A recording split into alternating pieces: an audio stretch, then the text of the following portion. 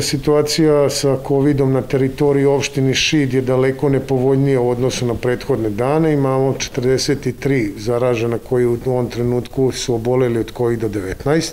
Štab za vanredne situacije u Šidu neće donositi nikakve posebne mere osim mera koje su u saglasnosti sa merama koje donosi Republički štab za vanredne situacije.